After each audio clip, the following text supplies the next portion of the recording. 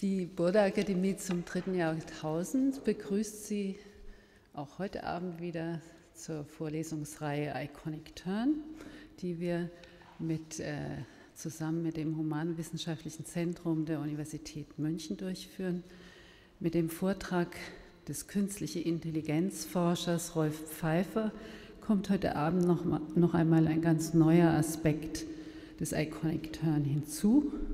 Bisher befassten sich die Vorträge der Vorlesungsreihe mit Untersuchungen und Reflexionen über Bilder, die mit der Darstellung von sichtbaren Dingen und sichtbarer materieller Welt zu tun hatten.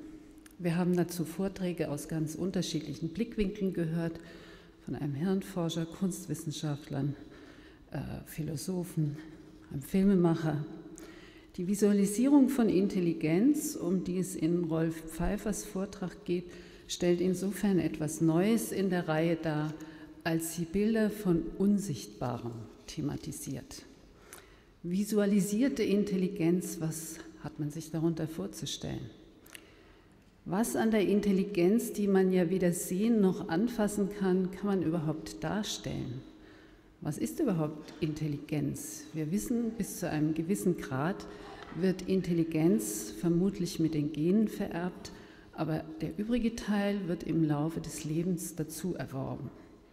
Intelligenz entwickelt sich in einem komplexen Interaktionsprozess mit der Umgebung und ein solcher Prozess besteht aus unendlich vielen Einzeloperationen.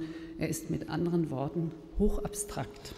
Wie kann man nun so etwas Abstraktes wie einen Prozess visualisieren, darstellen, sichtbar machen? Die Antwort ist relativ einfach. Es ist die Computertechnologie, die das möglich macht. Durch die Entwicklung der Chip-Technologie und die immer größeren Speicherkapazitäten sind Computer zu hochkomplexen Simulationsmaschinen geworden.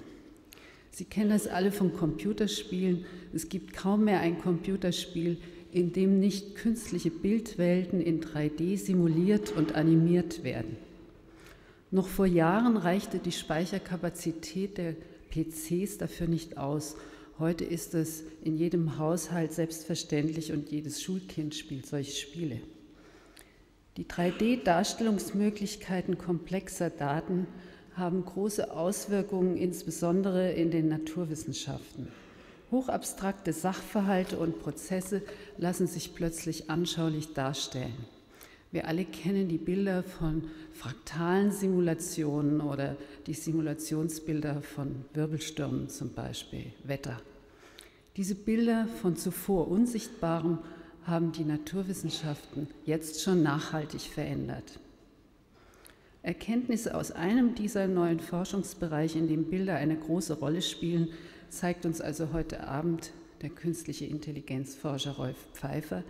Er zeigt uns simulierte Intelligenz, veranschaulicht durch das Verhalten von Robotern, die intelligentes Verhalten entwickeln, indem sie mit ihrer Umgebung in Interaktion treten.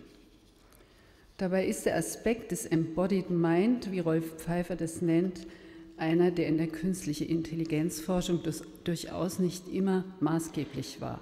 Da ging man ja lange Zeit davon aus, Intelligenz ließe sich durch Simulation der biologischen Schaltvorgänge im Gehirn simulieren und der Computer werde es schon irgendwann schaffen, Denkvorgänge perfekt zu simulieren. Das sei hauptsächlich eine Frage von leistungsfähigeren Computern.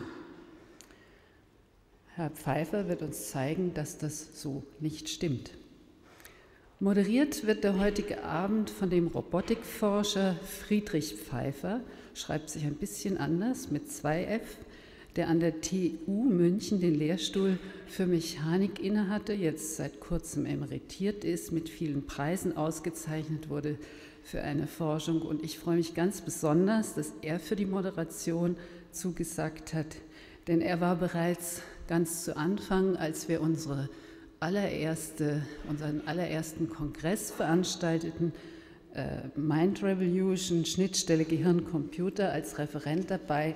Er hat damals sehr eindrucksvoll das Robotermodell einer sechsbeinigen Laufmaschine vorgestellt, die dem Bewegungsprinzip der Stabheuschrecke nachgebildet war und die uns vor Augen geführt hat, wir haben alle sehr darüber gestaunt, welch komplexer Vorgang etwas so einfach erscheinendes wie der biologische Bewegungsapparat eines sechsbeinigen Tieres ist und wie schwierig es ist, ihn mechanisch nachzubilden. Am Saxophon hören Sie heute Abend Wolfgang Mesch und im Anschluss sind Sie wie immer im Lichthof zu einem Drink willkommen. Ich darf jetzt Herrn Pfeiffer bitten.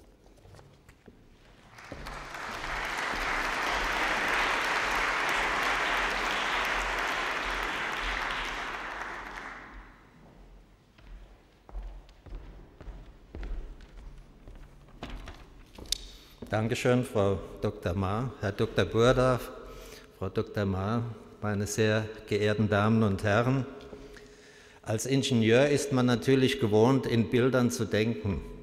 Wenn ein Ingenieur dem anderen was erklären will, fängt er zunächst mal an zu zeichnen. Und die meisten schwerwiegenden, seriösen Forschungsarbeiten fangen irgendwie mit Papier und Zeichnungen oder an der Tafel an. Ingenieure benutzen auch das, was man künstliche Intelligenz nennt, im Ingenieurbereich sicherlich etwas lockerer als im Bereich der künstlichen Intelligenzforscher oder der Psychologen. Ähm, eine wirkliche künstliche Intelligenz haben wir im Moment eigentlich noch nicht zur Verfügung. Wir benutzen Riesenprogrammsysteme, wir benutzen Riesensimulationen. Kein Auto geht vom Band, ohne dass vorher unwahrscheinlich viel gerechnet worden ist. Aber das alles ist eigentlich keine künstliche Intelligenz, sondern vorprogrammierte, ja, vorprogrammierte Lösungen, vorprogrammierte Beschreibung von Problemen. Insofern wird es interessant sein zu hören, was Herr Kollege Pfeiffer heute Abend äh, hier vorträgt. Und es wird auch interessant sein zu hören und zu sehen, ob es eines Tages möglich sein wird, ein wenig, ein bisschen von künstlicher Intelligenz zu realisieren. Ein Konstrukteur benutzt Riesenprogrammsysteme, um heute seine Konstruktionen zu machen, aber letztendlich ist seine Konstruktion immer noch auf seine Intuition angewiesen und so wie es aussieht, scheint es auch noch lange Zeit so zu bleiben.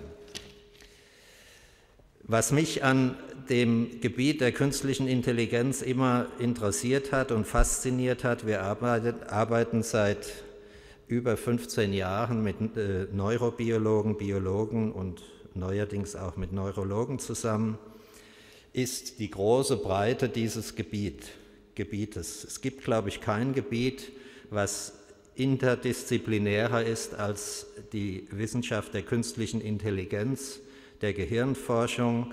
Es kommen alle Gebiete zusammen, von den Computerwissenschaften über die Gehirnforschung, Biologen, Neurologen, Ingenieure. Herr Pöppel hat dieses einmal Syntopie genannt, äh, um anzudeuten, dass nach Inhalt und Methode hier zusammengearbeitet werden muss. Aber nach meiner Erfahrung im viel primitiveren technischen Bereich im Vergleich zur Biologie ist ja selbst ein Flugzeug noch relativ einfach äh, konzeptioniert. Äh, ist es vonnöten, wenn man in solchen hochinterdisziplinären Wissenschaften erfolgreich sein will, dass einige wenige Leute, ich war lange in der Industrie, sagen wir eine Firma mit 30.000 Leuten, gibt es vielleicht 20, 30 von dieser Sorte, dass es einige wenige Leute gibt, die in der Lage sind, die ganze Breite zu überblicken. Vielleicht nicht ganz so tief, aber von allem so viel zu verstehen, dass man in interdisziplinärer Weise das Ganze zusammenbringen kann. Und solche Leute lassen sich nicht auf der Universität ausbilden, sondern die müssen wachsen an der Aufgabe. Ich darf Herrn Kollegen Pfeiffer aus Zürich vorstellen. Er hat Mathematik und Physik äh, an der ETH Zürich studiert, hat dort auch promoviert und ist dann drei Jahre als Postdoc in Carnegie Mellon gewesen und in Yale, an einigen, einigen anderen Orten auch, kam dann 1987 als Professor an die Universität Zürich zurück, äh, als Professor für äh, Informatik, Computer Science und ist dort Direktor des Laboratoriums für künstliche Intelligenz. Er hat verschiedene Freisemester im Ausland verbracht, so in Brüssel, am MIT und am Neuroscience Institute von San Diego. Seine Interessen sind vielfältig, das deckt sich mit der notwendigen Interdisziplinarität, nämlich künstliche Intelligenz, Biorobotics, automatische Agenten, mobile Roboter, Morphogenesis und viele andere Gebiete, die hier reinpassen. Er hat viele Bücher geschrieben, zuletzt ein Buch, das allgemein bekannt geworden ist, auch außerhalb der wissenschaftlichen Community, Understanding Intelligence, und er hat über 100 Veröffentlichungen geschrieben. Er ist bekannt geworden im Fernsehen und in vielen äh, Zeitschriften. Ich darf Herrn Kollegen Pfeiffer bitten, seinen Vortrag über die Visualisierung künstlicher Intelligenz zu beginnen. Dankeschön.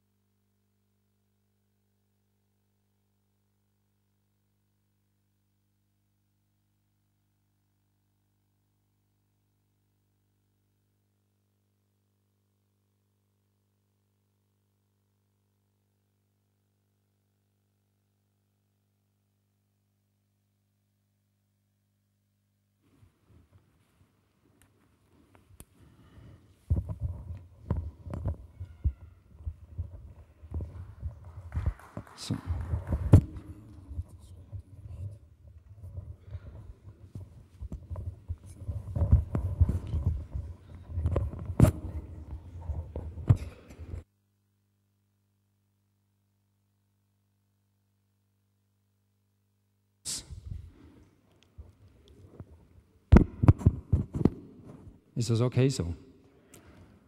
Gut, können wir noch die Projektion haben?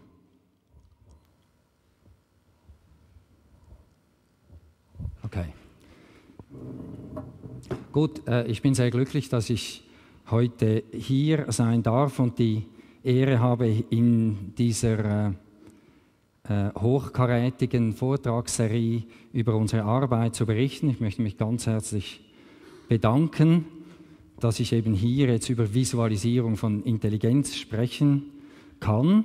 Ich möchte an dieser Stelle auch mich bei Britta Glatzeder bedanken, die mich darauf aufmerksam gemacht hat, ursprünglich auch mal unsere Forschung unter dem Gesichtspunkt Visualisierung anzuschauen. Und ich denke, das ist sehr produktiv und konstruktiv geworden. Ich muss ein paar Vorbemerkungen machen. Ich wollte ursprünglich meinen Vortrag auf Englisch machen. Man hat mich dann gewissermaßen gezwungen, das auf Deutsch zu tun.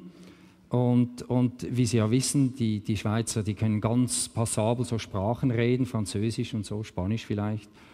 Aber äh, wenn es ums Deutsche geht, nicht, da war ja der, der Schröder auf äh, Staatsbesuch in der Schweiz und dann haben sich die Bundesräte, nicht die Minister in der Schweiz, die heißen Bundesräte, die haben sich dann bemüht, gutes Deutsch zu sprechen und so. Da ist der Schröder zurückgekommen, hat er zu seinen Leuten gesagt, er hätte nicht gewusst, dass man Schweizerdeutsch so gut versteht.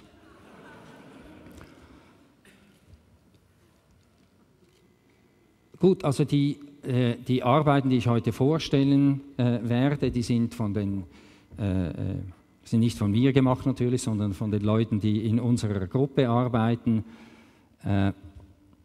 Äh, jetzt, äh, nicht, es, es, es, wurde gesagt, ja, ich, ich, werde dann sagen, was Intelligenz ist. Ich, ich werde nicht, Intelligenz nicht definieren, und zwar wir können vielleicht in der Diskussion darüber äh, sprechen, aber ich werde zumindest begründen, wieso ich glaube, dass es nicht unbedingt sinnvoll ist, wenn wir äh, Intelligenz äh, definieren. Und zwar nehmen wir das Beispiel Schach. Also ich kann Schach spielen, aber ich bin ein sehr mittelmäßiger Spieler. Jetzt, wenn Sie mir bei einer Schachpartie zuschauen würden, wären Sie wahrscheinlich nicht sonderlich beeindruckt von meiner Intelligenz.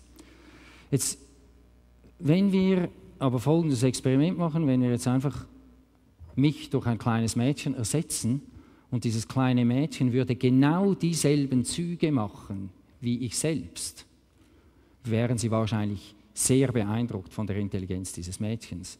Wenn wir jetzt noch ein Experiment machen und das Mädchen durch einen Hund ersetzen und der Hund würde dieselben Züge machen wie ich, dann würden Sie denken, der Hund ist ein Genie. Das heißt, man sieht also, dass was man unter Intelligenz versteht, auch stark von subjektiven Erwartungen abhängt. Und die Chance oder die Hoffnung, dass wir, dass wir, äh, wenn das so ist, nicht, dass wir uns je auf irgendetwas einigen könnten, was allgemein akzeptiert ist, die, die halte ich für eigentlich sehr gering. Und deshalb möchte ich lieber im Vornherein darauf verzichten. Die Diskussionen, die entsprechenden Diskussionen sind in der Regel auch sehr unproduktiv. Nicht? Da sagen die einen, ja, aber nicht, ist jetzt das wirklich intelligent? Sind, sind jetzt Ameisen wirklich intelligent? Und sagen die, ja, aber nicht wirklich und, und so weiter. Nicht? Das kennen Sie alles. Gut, jetzt zum Inhalt des Vortrages. Ich habe drei Teile. Äh, der erste Teil ähm, bezieht sich auf die äh, Oh, übrigens, ich habe noch etwas vergessen. Ich, ich will jetzt nicht einfach sagen, okay, ich sage nichts über Intelligenz. Ich erzähle Ihnen eine ganz kurze Geschichte, auch vom Herrn Schröder. Äh, und zwar war er auf, auch auf Staatsbesuch in den USA beim George Bush und dann war er beeindruckt, nicht vom Team von George Bush, und hat gesagt, George, wie machst du das, dass du so ein tolles Team hast? Und dann hat der Bush gesagt, das ist ganz einfach, ich mache mit meinen Leuten einen Intelligenztest. Und dann hat er gesagt, ich werde das vor, äh, vorführen, hat den Colin Powell geholt und hat gesagt, Colin, wer ist das? Hat denselben Vater wie du, hat dieselbe Mutter wie du, ist aber nicht dein Bruder. Da hat der Paul nachgedacht und gesagt, ah, das bin ich. Sehr, sehr gut, sehr gut, nicht? Schröder war beeindruckt, hat gesagt, das mache ich auch, wenn ich zurückkomme. Nicht zurückgekommen, hat den Joschka Fischer zitiert und hat gesagt, Joschka, wer ist das? Hat denselben Vater wie du, hat dieselbe Mutter wie du, ist aber nicht dein Bruder der Fischer studiert, nachgedacht, da ist er ins Schwitzen gekommen, nachgedacht und nach einer Weile hat er gesagt, ja, tut mir leid, ich weiß es nicht. Da hat der Schröder gesagt, ja, mir ist das auch nicht so ganz klar, aber es ist der Colin Powell.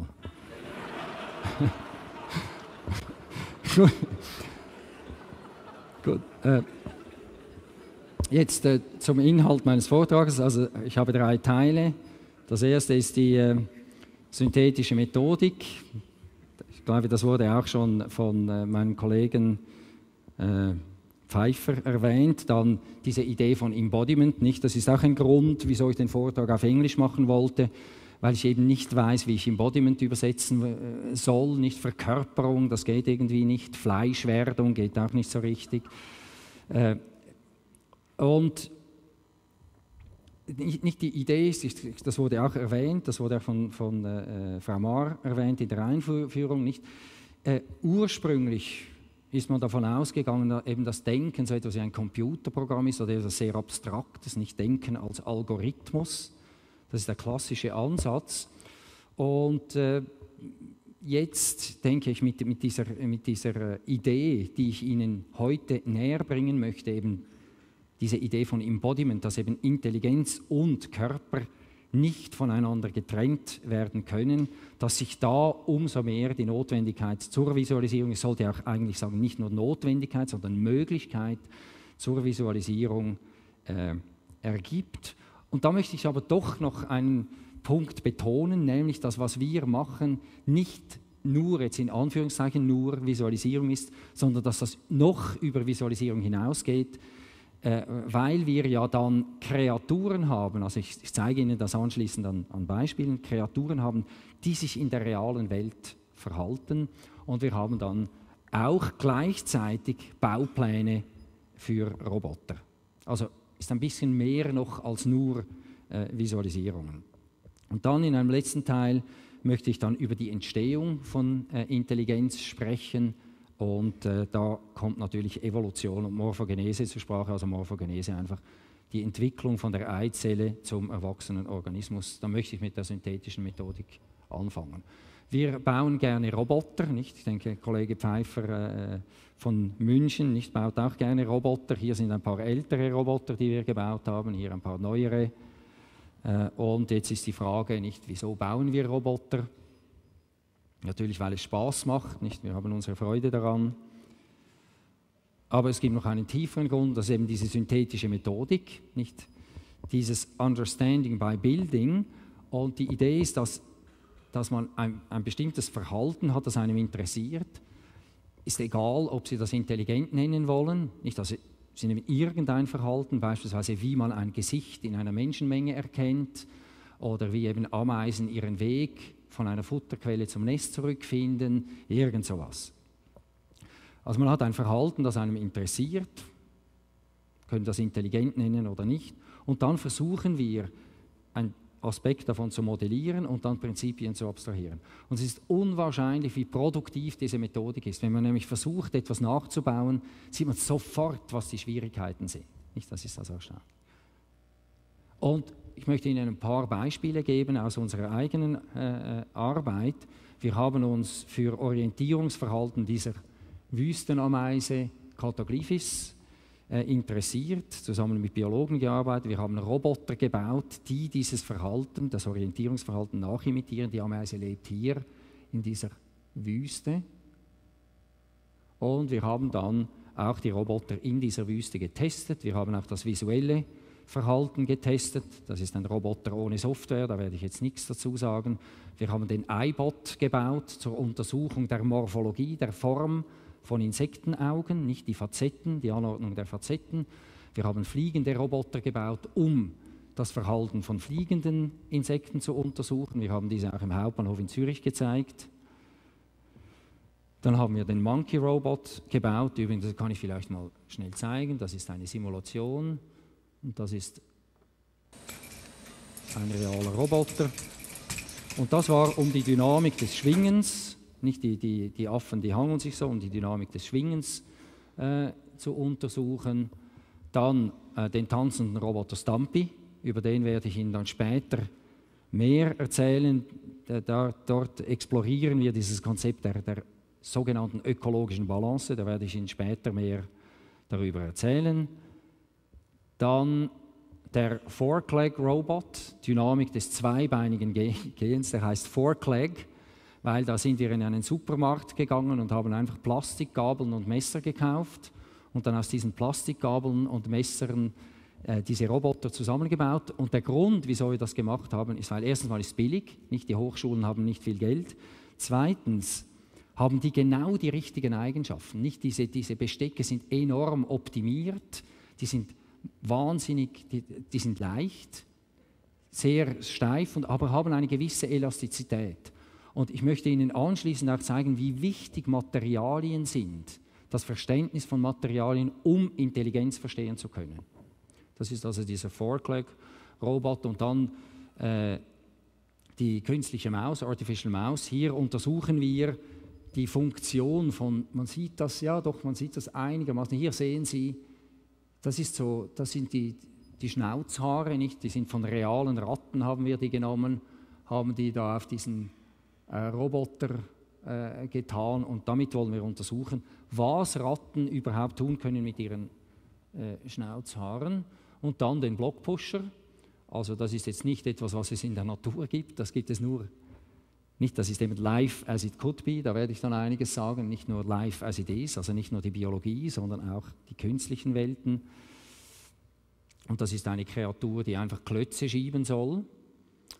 Und das ist also die Idee, dass man Roboter baut, um Intelligenzfunktionen in der Natur zu verstehen, aber vielleicht auch ein bisschen über das hinauszugehen. Gut, das war der erste Teil, diese synthetische Methodik verstehen durch Nachbauen. Und jetzt möchte ich diese, diese Idee von Embodiment Ihnen näher bringen. Es kommen, kommen ganz wenig Theorie und dann äh, kommen äh, Beispiele. Es gibt eine triviale Sicht von Embodiment, dass man einfach sagt, ja, ein Körper ist notwendig. Klar, evolutionsgeschichtlich ist natürlich Intelligenz in einem Körper immer an Körper gebunden gewesen. Es gibt aber auch eine nicht triviale Bedeutung, da möchte ich ganz kurz etwas dazu sagen. Äh, also dieser Begriff Embodiment, nicht, wir haben einen Körper, Wir haben einen Körper und dieser Körper hat eine Morphologie oder eine Form Und zur Morphologie gehören aber auch die Sensoren und wie die angeordnet sind. Wir haben beispielsweise visuelle Sensoren, Augen, hier oben. Nicht? Die haben wir nur hier oben, die visuellen Sensoren. Dann haben wir aber äh, Tastsensoren über den ganzen Körper verteilt, aber in unterschiedlicher Dichte. Nicht auf den Fingerspitzen haben wir sehr dichte Anordnung, auf dem Rücken ist das viel weniger dicht. Dann haben wir bestimmte Gliedmaßen, Körperform und wir haben verschiedene Materialien im Körper. Wir haben Knochen, wir haben Muskeln, Sehnen und so weiter. Und je nachdem, wo diese Sensoren sind, gut, bei Menschen sind die immer in etwa an den gleichen Orten, nicht, aber andere Kreaturen können ja andere Sensoren haben, ist die neuronale Verarbeitung anders. Und dieses Zusammenspiel von Morphologie, Materialien und neuronaler Verarbeitung ist das, was uns interessiert und was das Wesen der Intelligenz effektiv ausmacht. Und das möchte ich versuchen, Ihnen näher zu bringen. Und da gibt es dieses Konzept der ökologischen Balance hier. Und bei natürlichen Systemen ist das alles in einer Balance. Und intelligente Systeme haben immer eine interessante ökologische Balance. Ich werde das später dann genauer erläutern. Und jetzt möchte ich Ihnen ein erstes Beispiel zeigen äh, über Sensormorphologie. Da geht es um Art und Verteilung der Sensoren auf einem Organismus. Und das sind die Didabots. Die Didabots, das sind einfache Roboter für didaktische Anwendungen. Das, wir haben so eine Arena mit Styroporwürfeln und dann tun wir, also die ist etwa 6 auf 6 Meter und dann tun wir da ein paar von diesen Robotern hinein und dann lassen wir die Roboter arbeiten. Und ich denke, man kann jetzt visuell sehr schön sehen, was diese Roboter tun. Also das ist die Anfangssituation, nicht? Dann lassen wir die Roboter arbeiten. Das sind etwa zweieinhalb, drei Minuten. Es sind immer etwa zwei bis drei Minuten dazwischen, zwischen den einzelnen Frames. Können wir schauen, was da passiert. Voilà. Nicht, jetzt kann man sich fragen, ja, was tun diese Roboter? Nicht, ja, ich könnte jetzt die Frage nicht ans Publikum stellen, aber äh, ich kann ja gleich die Antwort. Sie schieben die Würfel zusammen, die bilden diese Cluster oder sie schaffen sich freie Bahn. Nicht? Wenn, wenn, die, wenn die Styroporwürfel schön in Haufen sind, da kann man mehr, besser geradeaus fahren. Oder nicht, ich, bin ja, ich komme ja aus der Schweiz, wie man äh, eben leicht hört. Äh, meine Lieblingsinterpretation ist, dass die aufräumen und deshalb sind ja auch als Swiss Robots bekannt geworden. Und jetzt ist die Frage, also das ist die Sicht eines Beobachters, ich sage ja, diese Roboter räumen auf, nicht? Jetzt ist die Frage, wie funktioniert das? Wie funktioniert das, dass diese Roboter aufräumen? Also was sind gewissermaßen die Prozesse, die dazu führen? Oder, und da könnte man jetzt wieder äh, lange darüber diskutieren. Ich gebe Ihnen gleich die Antwort, äh, weil sie nämlich einigermaßen überraschend ist. Also wie sind die Roboter programmiert? Die sind nämlich so programmiert. Wenn links ein Hindernis ist, drehen sie nach rechts und wenn rechts ein Hindernis ist, drehen sie nach links. Also eigentlich sind diese Roboter auf Ausweichen programmiert. Und jetzt, jetzt, ist die Frage, ja, jetzt, ich meine, jetzt sind diese Klötzchen da, nicht die Roboter sind auf Ausweichen programmiert. Wie kommt es jetzt, dass die, diese Roboter die Haufen bilden. Jetzt, wenn Sie nur, das ist das, das Steuerprogramm, das ist so gemacht, das ist das Steuerprogramm. Wenn Sie jetzt nur dieses Steuerprogramm anschauen, dann denken Sie, das kann ja nicht gehen. Wenn Sie jetzt aber das Steuerprogramm im Kontext des Roboters anschauen, zusammen mit der Morphologie und der Anordnung der Sensoren, wird es plötzlich klar. Wenn nämlich Folgendes passiert. Hier ist der Roboter. Ich habe hier äh, Moment, links einen Sensor, rechts einen Sensor und dann ein einfaches neuronales Netzwerk, das einfach diese Steuerung implementiert. Also Hindernis links nach rechts drehen, Hindernis rechts nach links drehen. Wenn jetzt zufälligerweise ein Roboter mal auf einen Styroporwürfel direkt so frontal auftritt, dann gibt es keine Sensorstimulation links, keine Sensorstimulation rechts, nicht weil die Sensoren eben so angeordnet sind. Ja, was passiert dann? Ja, der Roboter schiebt diesen Klotz, oder? Aber nicht gewissermaßen, weil er programmiert ist zum Schieben oder weil er ihn schieben will, sondern schlicht und einfach, weil er ihn nicht sieht. Oder? Für ihn ist dieser Würfel nicht da. So, und jetzt die Frage, ja, wie, das ist schön und gut, aber wie, wieso gibt es die Cluster? Ganz einfach.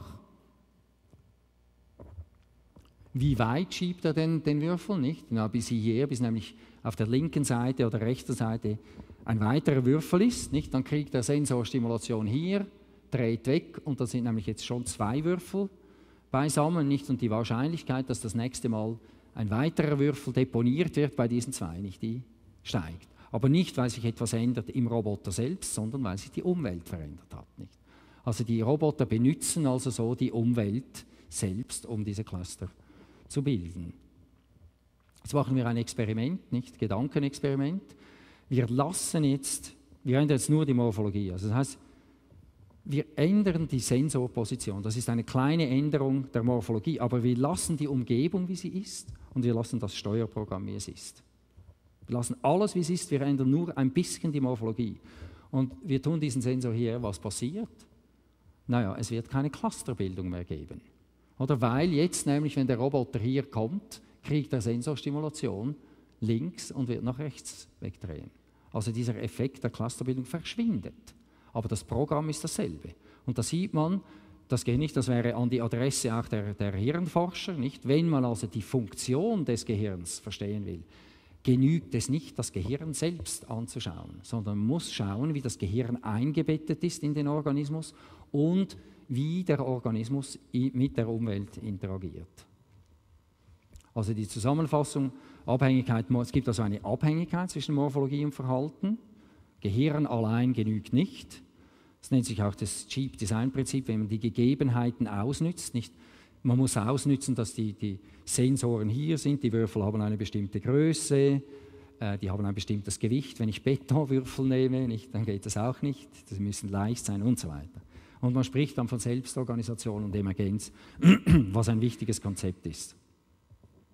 Und ich denke, äh, hier ist auch die Visualisierung wichtig. Wenn Sie das, das, Klötz, äh, das Häufchen bilden äh, irgendwie nicht so interessant finden, dann verstehe ich das sehr gut. Aber hier nur, um zu zeigen, in der Natur ist das sehr häufig. Also hier sind die Roboter auf der linken Seite.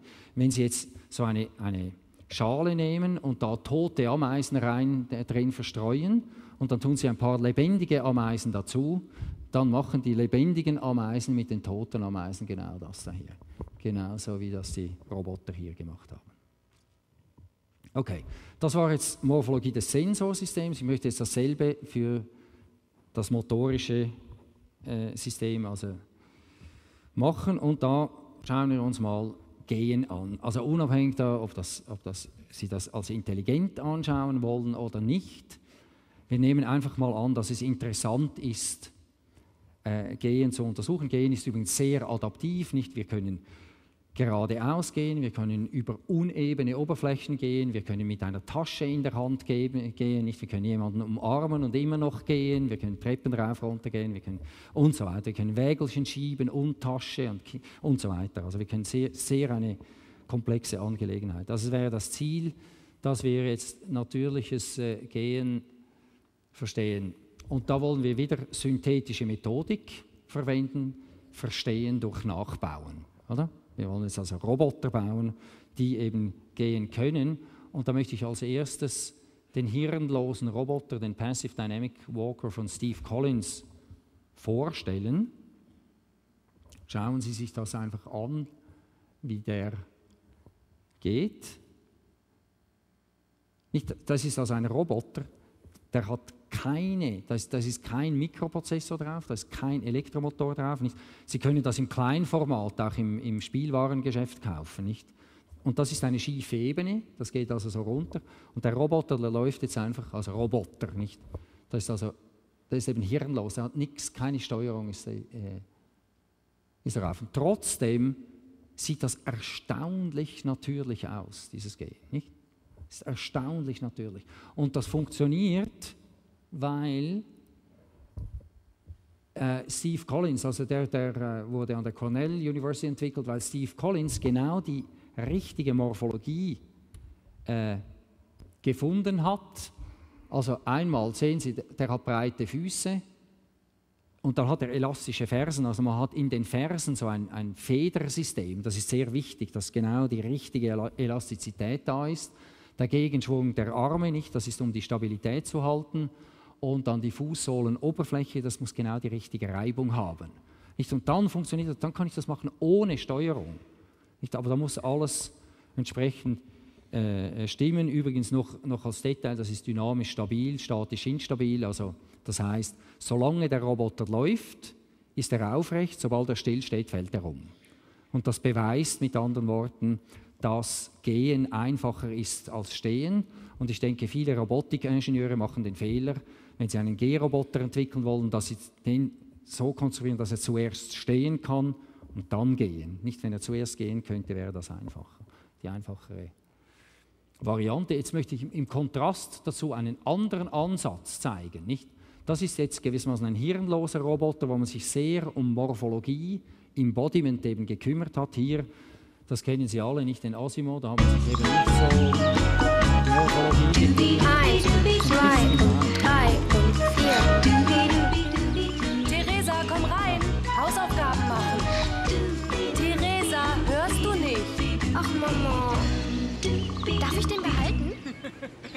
Also ich glaube, ich stelle mal den Hunderoboter ab, aber Sie sehen, der läuft ganz. Nicht, wenn, Sie das sehen, wenn Sie das im Vergleich sehen zum, äh, zum äh, Passive Dynamic Walker von Steve Collins, also zu diesem hirnlosen Roboter, nicht, der geht irgendwie so.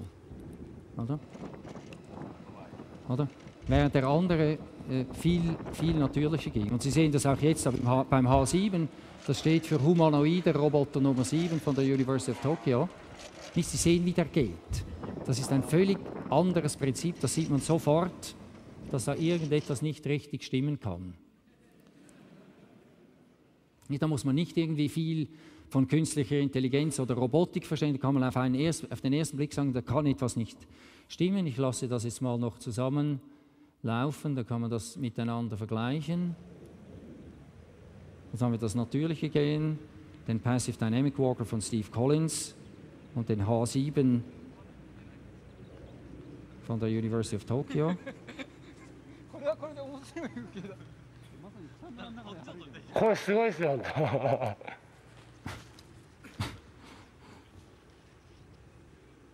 Okay, und jetzt hier wäre die Hypothese, dass gewissermaßen, wenn ich mich für, wenn ich einen G-Roboter bauen will, dass also die, die, die, wenn, wenn, das Gehen ästhetisch aussieht, dann ist das gutes Engineering. Nicht in dem anderen Fall. Ja, und, und, und damit, damit das natürlich aussieht, muss man die Dynamik, muss man die Umweltbedingungen ausnützen. Nicht? Das ist auch eine Eigenschaft von intelligenten Systemen, die nützen immer die Umweltbedingungen aus.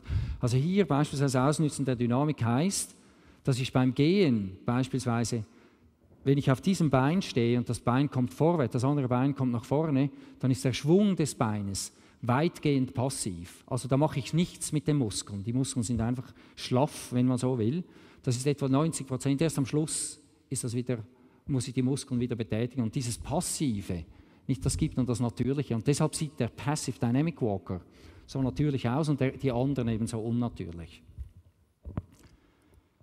Gut, was sind die Folgerungen aus diesem Beispiel? Äh, angemessene Morphologie und Materialien ausnützen der Dynamik oder ausnützen der Physik.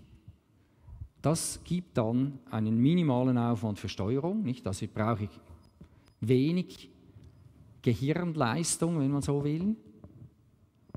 Äh, oder eben gar keine, wenn ich das richtig mache. Es ist auch energieeffizient und es sieht, auch, sieht eben gut aus. Sieht einfach gut aus, nicht? Und umgekehrt ist es so, also was die meisten, äh, oder es ändert sich langsam, aber immer noch die meisten Robotiker, die, die arbeiten mit harten Materialien, nützen die Dynamik nicht richtig aus. Und dann habe ich typischerweise einen großen Aufwand für Steuerung.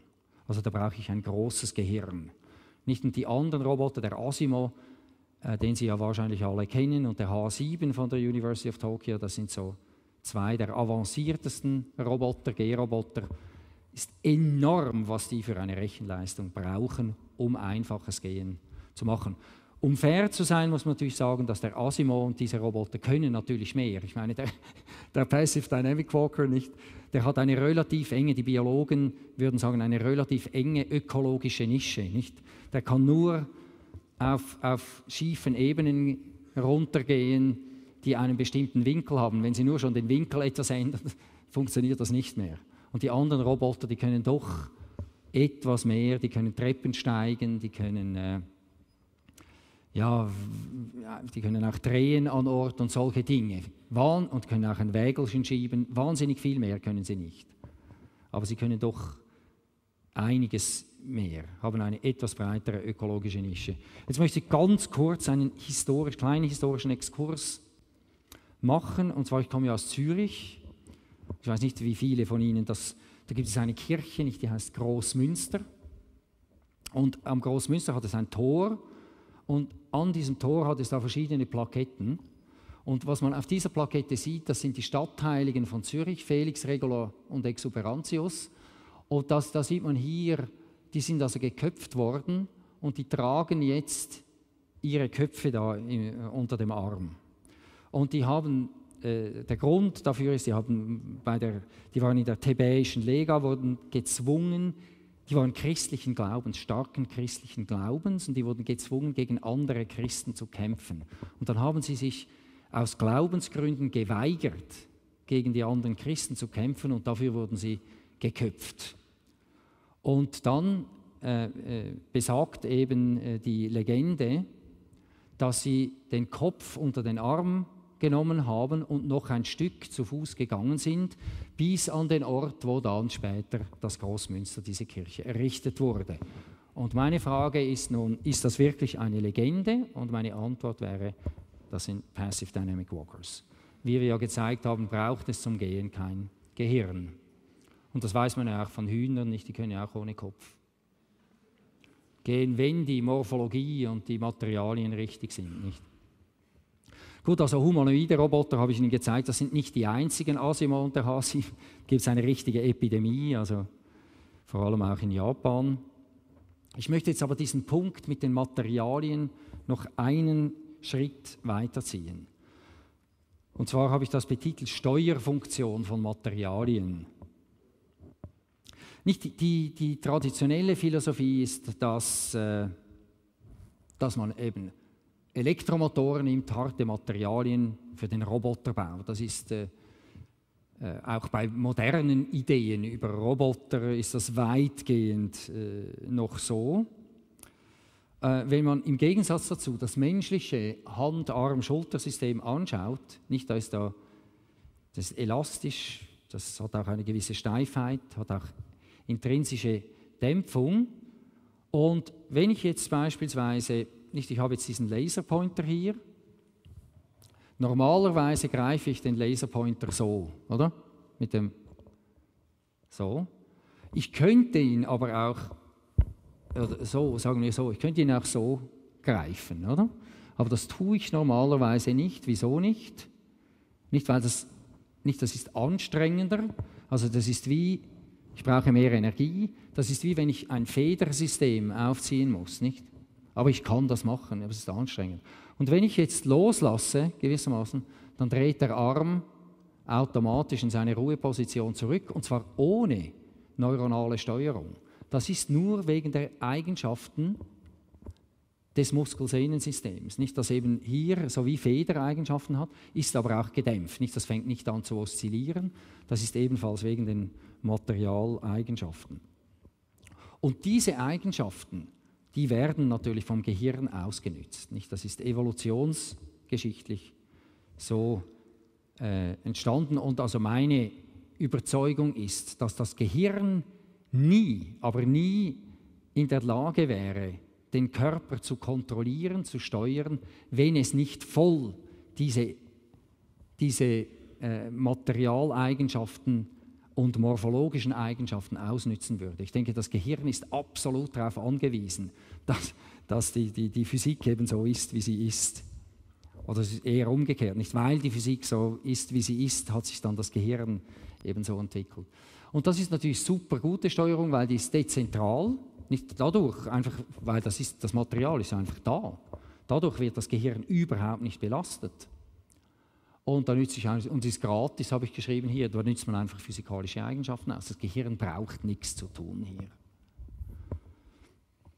Und man kann dann eben sagen, Steuerfunktionen des, äh, der Materialien des Muskelsehnensystems, federähnliches Verhalten, Steifheit, Elastizität und Dämpfungseigenschaft. Das heißt, dadurch, dass die Materialien diese Eigenschaften haben, muss das Gehirn viel weniger leisten.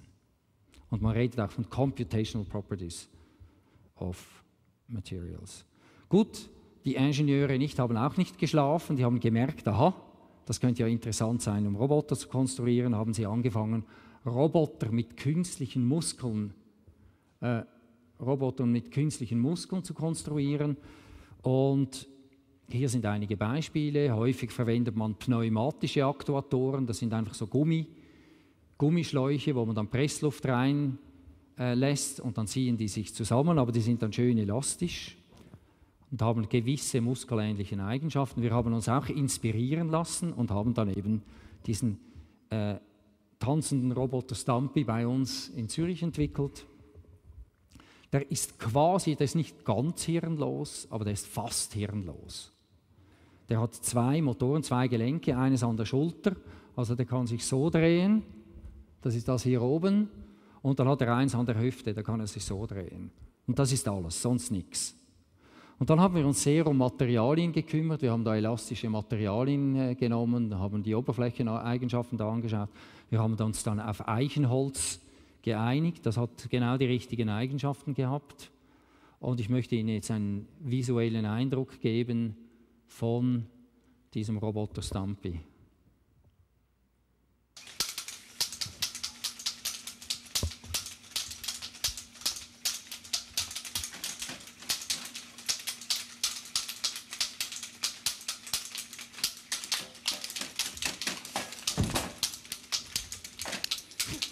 Das ist ein, ein, ein andere, eine andere Gangart. Das, ist, das Erstaunliche ist, wenn man diese Morphologie und die Materialien richtig hat, dass man mit ganz wenig Steuerung eine große Verhaltensvielfalt hinkriegen kann. Das ist wieder eine andere Gangart. Und wie gesagt, nur mit zwei Gelenken. Da ist praktisch kein Gehirn drauf. Kann auch an der Stelle, auf der Stelle drehen.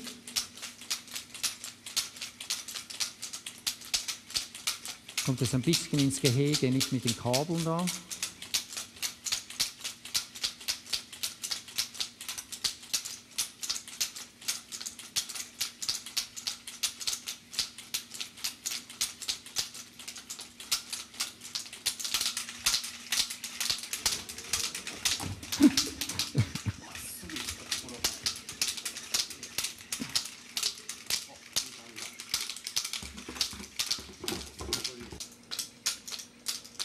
Okay, and can you can you disturb it for me, like before? Was man auch sieht, ist, wenn man jetzt diesen Roboter in der Bewegung stört, dann kommt er automatisch wieder in seine normale Bewegung zurück, ohne Steuerung. Da ist keine Steuerung dafür da. Wir nennen das Selbststabilisierung. Das ist auch gegeben durch die Dynamik des gesamten Systems. Okay, ich glaube, wir haben das gesehen. Gut, ich möchte das kurz zusammenfassen. Also es geht hier nicht diese verschiedenen Verhaltensweisen, die man auf ganz, ganz einfache Art und Weise hinkriegt. Übrigens, dieser Roboter war auch schon am, am Fernsehen, am ZDF. Äh, und es hat dann auch ein paar junge Damen gehabt dabei, nicht? die haben sich gleich verliebt in diesen Roboter. Es geht also um das Ausnützen der Dynamik, federähnliches Verhalten, und das hat gewissermaßen, die Materialien haben eine natürliche Steifheit und Elastizität. Und auch die Oberflächeneigenschaften der Füße sind wichtig. Nicht, das muss genau die richtige Reibung haben, damit das funktioniert. Und ich, also ich finde es erstaunlich, dass man also einfach mit zwei, mit zwei äh, äh, Gelenken so viele Verhaltensweisen hinkriegt. Und dann natürlich die Selbststabilisierung. Wiederum der Punkt, gute Steuerung durch Morphologie und Materialien. Und das nennt sich auch dieses Prinzip der ökologischen Balance, dass es also alles irgendwie balanciert sein muss, Morphologie, Materialien. Nicht weil, wie, es ist wie wenn die Materialien eben Funktionen übernehmen, die sonst das Gehirn übernehmen müsste. Und dann wird die neuronale Verarbeitung häufig einfacher und die Umwelt, die Interaktion mit der Umwelt muss man natürlich immer hier mit einbeziehen. Okay, also das war der zweite Teil. Ich möchte jetzt äh, äh, noch etwas zum dritten Teil sagen, die Entstehung von Intelligenz Äh, also ich hoffe, ich habe jetzt Ihnen ein bisschen gezeigt, was man unter Embodiment versteht. Ich komme jetzt zum letzten Teil, die Entstehung von Intelligenz, simulierte Evolution und Morphogenese.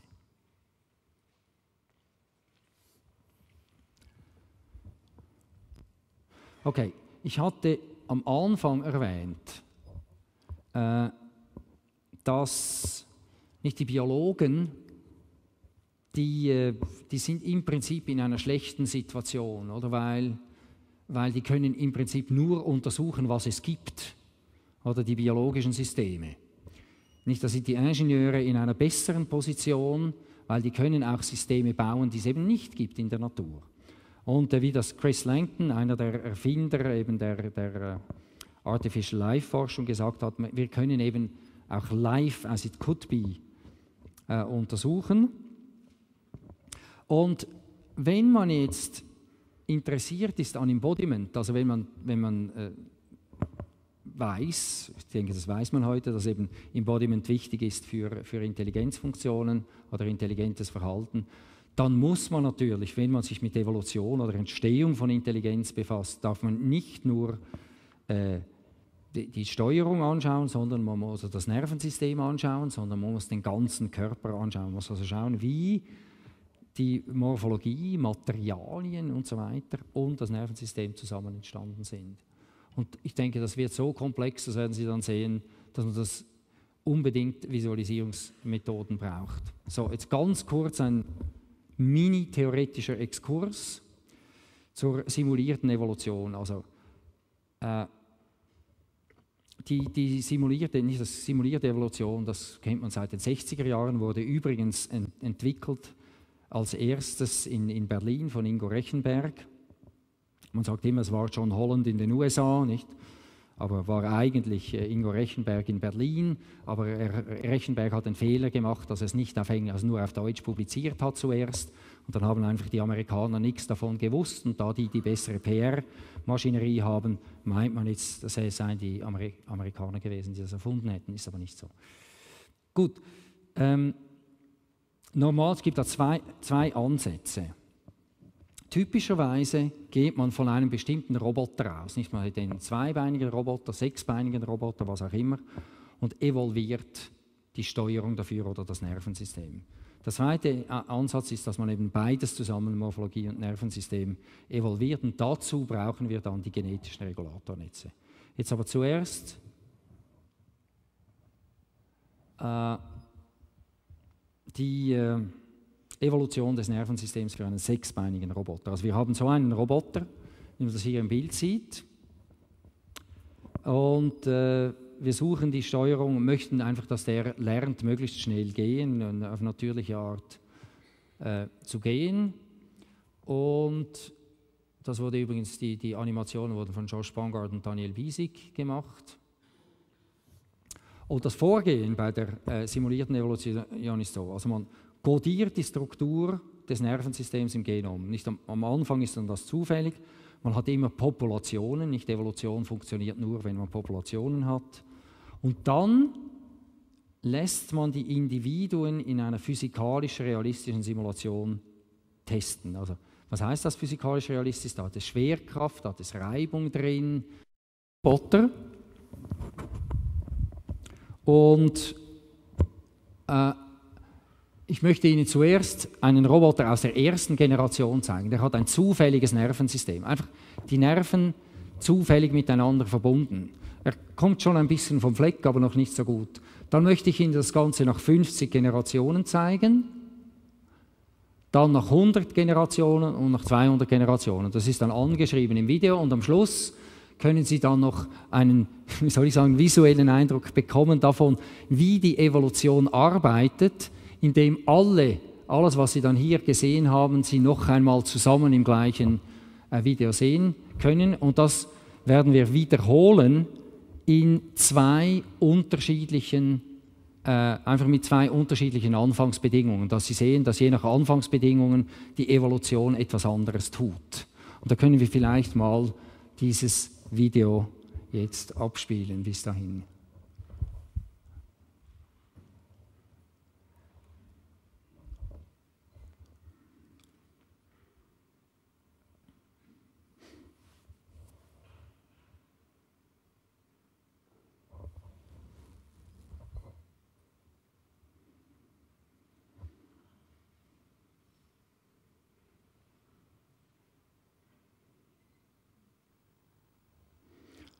Okay, hier wird also die Steuerung, da ist der Roboter vorgegeben, deshalb heißt es Evolution of Control, also die Steuerung ist vorgegeben. Und was die Evolution tut, also das programmieren wir nicht. Die Evolution macht die Steuerung. Das ist also nicht von uns programmiert. Kommt schon ein bisschen vorwärts, ist eigentlich erstaunlich. Also ich finde das erstaunlich, dass der schon ein bisschen vorwärts kommt. Jetzt, das ist nach 50 Generationen. Sieht man schon erheblich besser. Und wie gesagt, es ist nicht programmiert, das ist nur mit diesem evolutionären Algorithmus eben evolviert. Jetzt dasselbe nach 100 Generationen. Noch besser. Hm?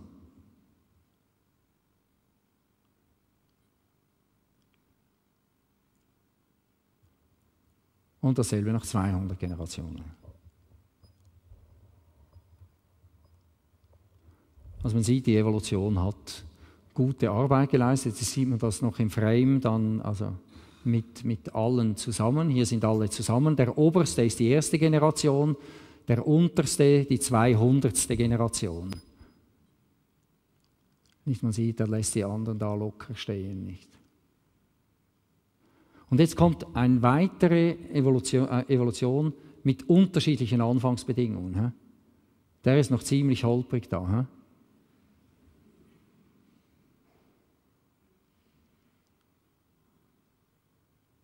Nach 50 Generationen wieder. Sind wir noch, so, noch nicht so gut. Aber Sie sehen, die Gangart ist anders, nicht die da kommt, die da zustande kommt. Und nach 100 Generationen?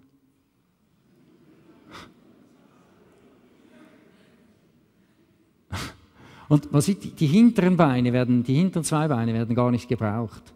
Und nach 200 Generationen, so wie eine Art Galopp, nicht so ein bisschen komisch. Aber man sieht, es ist, ganz, anders, ganz anders als im, in, der, in der vorherigen, im vorherigen Verlauf.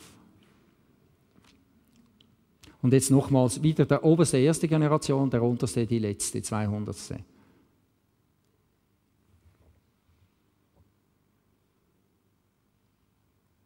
So, stoppen hier bitte.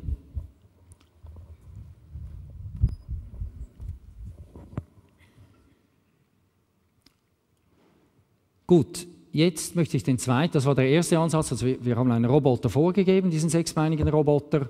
Und die Evolution hat einfach die Steuerung oder das Nervensystem dazu getan. Jetzt in der Natur ist es natürlich nicht so. Nicht? Da habe ich nicht einen Körper und da kommt die Evolution und tut jetzt das Nervensystem dazu, sondern es entsteht natürlich zusammen.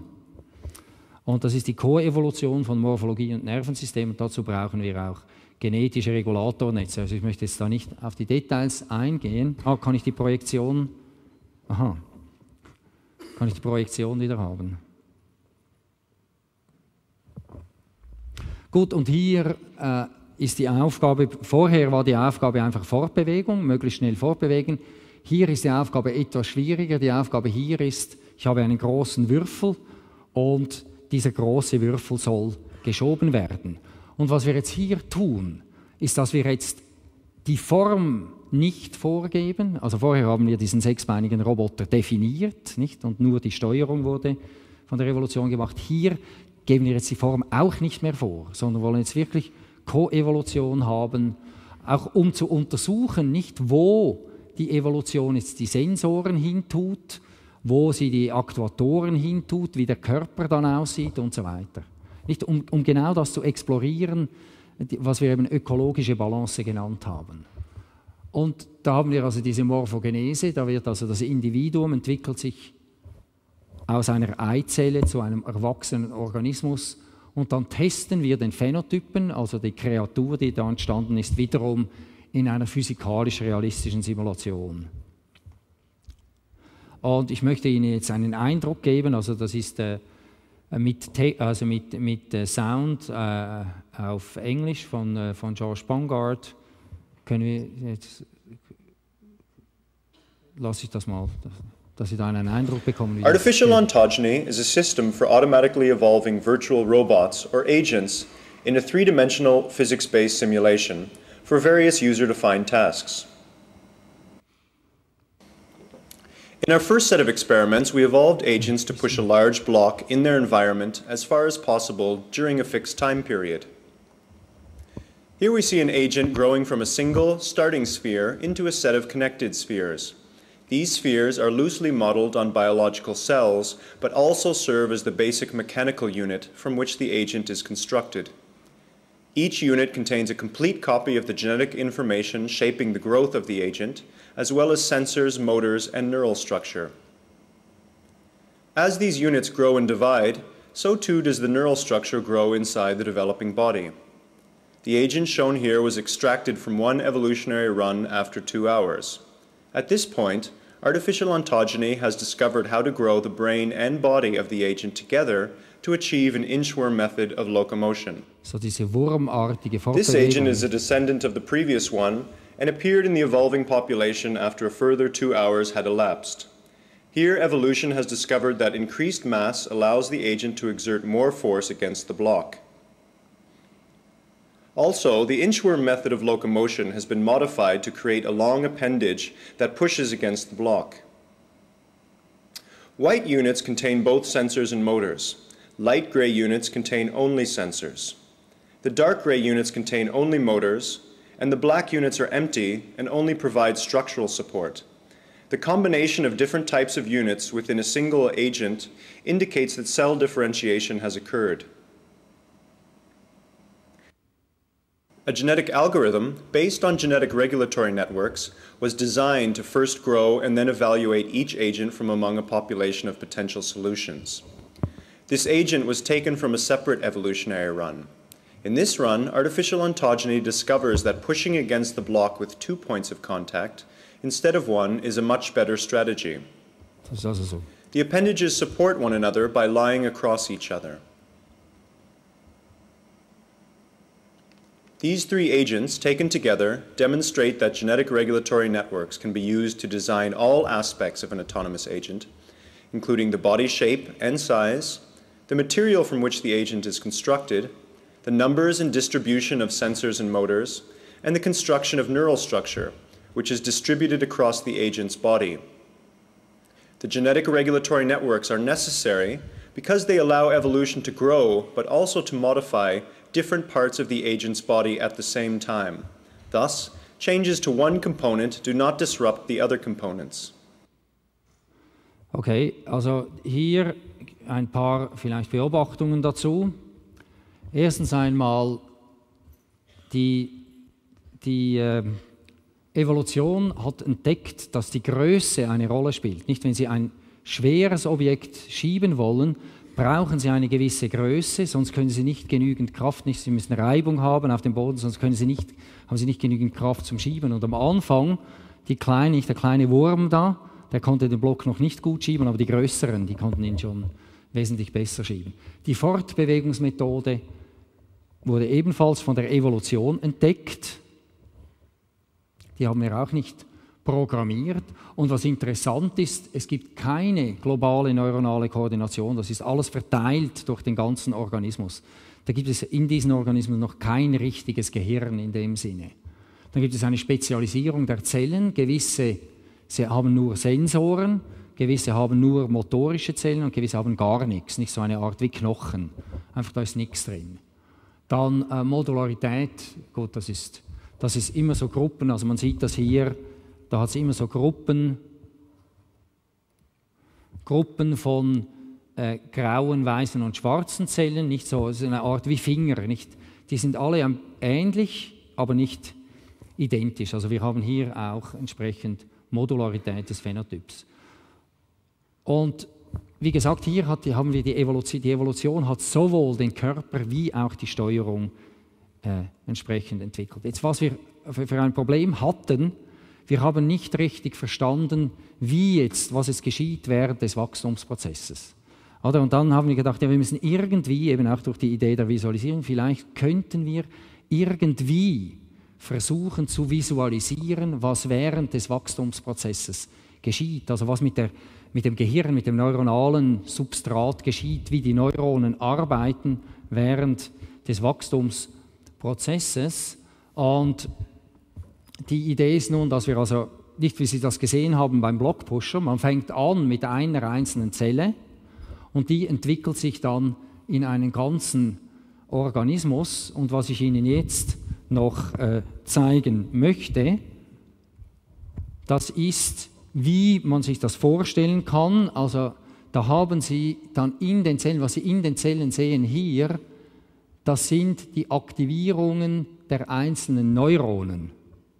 Nicht? Und die Größe dieser Kugeln gibt an, wie stark die Neuronen aktiv sind. Die grünlich eingefärbten Neuronen, das sieht man dann etwas besser im Video, äh, die grünlich eingefärbten Neuronen sind die motorischen Neuronen. Das sind also die, die die, die Bewegung äh, des Organismus machen und die gelblich eingefärbten, das sind die äh, Sensorneuronen, also Berührungsneuronen. Man sieht dann, wenn die den Boden berühren, nicht, dann werden die entsprechend größer, nicht, und dann werden sie wieder kleiner. Also ich denke, das sieht man dann entsprechend im Video und vielleicht können wir jetzt äh, dann noch dieses Video haben. Das ist übrigens das erste Mal, das haben wir gleich gestern Abend noch fertig gemacht. Das ist das erste Mal, dass wir dieses Video in der Öffentlichkeit zeigen. Ich denke, es ist die einzige Visualisierung dieser Art, die es gibt von Wachstum, nicht nur einfach des Organismus, sondern der Neuronen. Hier sieht man also ein motorisches Neuron, das da getriggert wird. Und da hat es zufällige Aktivierung des Nervensystems, deshalb springt das Ding manchmal auch in die Höhe. Hier sieht man das sehr schön. Nicht die Größe der Neuronen gibt wiederum die Aktivierung an. Und auch wenn, wenn diese Zellen an andere Zellen des Körpers stoßen, nicht sieht man das. Und so kann man hier nun visuell einen Eindruck bekommen, was da geschieht, auch im Bereich des Nervensystems. Nicht nur die Zellteilung, also die Teilung dieser Organismen, sondern auch, was die Neuronen tun. Man sieht also, oben ist auch Aktivierung. Das ist einfach, wenn der Körperteil oder Zellen an andere Zellen stoßen, nicht? Das ist einfach mal zufälliges Wachstum. Der nächste Schritt ist dann, dass wir das auch einbetten in einen evolutionären Prozess. Das haben wir aber bis jetzt, also das ist Work in Progress, nicht? Das ist also wirklich das Neueste von Neuen, was Sie hier äh, äh, sehen. Und da sehen Sie immer wieder diese Aktivierung der Neuronen, Größe der Kugel und gleich Aktivierungsniveau dieser äh, Nervenzellen. Okay, besten Dank. Dann, oh Moment, ich bin noch nicht fertig. Das ist nur das Video. Ich wollte dem Techniker äh, also, das basiert, ich bin aber gleich fertig, also es, ist, es dauert nicht mehr lange. Das basiert auf einem genetischen Regulatornetz. Das werde ich jetzt nicht erläutern. Ich kann Ihnen gerne äh, mehr darüber erzählen. Ich komme zurück auf die Hypothese, nicht, die ich am Anfang formuliert hatte, eben Embodiment, Notwendigkeit zur Visualisierung. Und dann aber die Idee, dass natürlich visualisieren wir das, aber das geht über die Visualisierung hinaus, weil das sind sich verhaltende Kreaturen in der realen Welt. Und wir können das, und das, wir haben auch ein Projekt, wo wir das tun, wo wir jetzt diese Kreaturen, die wir aus der Evolution haben, als Baupläne nehmen für Roboter, die wir dann effektiv auch bauen. Der nächste Schritt, den wir jetzt noch vor uns haben im Sinne der Visualisierung, wir haben während des Wachstums jetzt die Genaktivität nicht gesehen. Nicht, jetzt müssen wir, Im nächsten Schritt müssen wir die dann auch noch visualisieren, die Aktivität der genetischen Regulatornetze, die dann zusammengeht mit der neuronalen Aktivität. Da wissen wir noch nicht so recht, wie wir das machen sollen, aber das ist, wie gesagt, äh, Work in Progress. Zusammenfassend, ganz kurz, ich habe diesen Begriff des Embodiment eingeführt und dann eben die Visualisierung, Sensormorphologie, diese Swiss Robots, das Gehen, die Entstehen, Entstehung von Intelligenz, die Morphogenese und eben diese Idee, dass das ein bisschen dann über die Visualisierung hinausgeht. Und vielleicht ist es so, dass Ästhetik auch gleich gutes Engineering ist. Das können wir dann diskutieren und vielleicht ist die Wahrnehmung ein guter Berater. Wenn Sie noch mehr wissen möchten, besuchen Sie uns in Zürich oder lesen Sie Understanding Intelligence oder wenn Sie Japanisch vorziehen, können Sie es auf Japanisch lesen. Besten Dank für Ihre Aufmerksamkeit.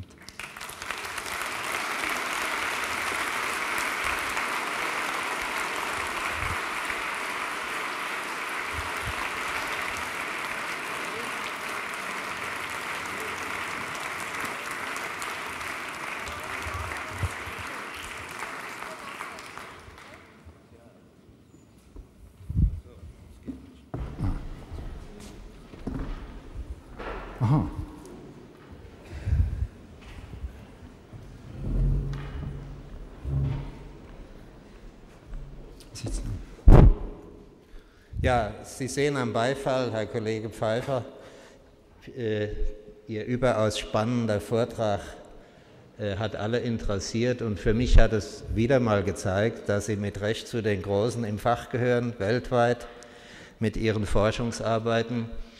Wir wollen jetzt in die Diskussion eintreten, aber bevor wir das tun, denke ich, haben wir eine Kunstpause von eins bis zwei Minuten verdient.